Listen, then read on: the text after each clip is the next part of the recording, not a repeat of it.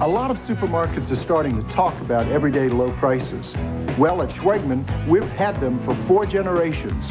Check out this ultra low price on Ultra Tide, just $4.99. We're chipping away your food bill. Look, assorted Lay's potato chips are only 79 cents. And here's another sizzler. Miss Goldie Grade A whole fryers are 49 cents a pound. That's right, 49 cents a pound only at Schwegmann. Check out Schwegmann. Check out Schwegmann.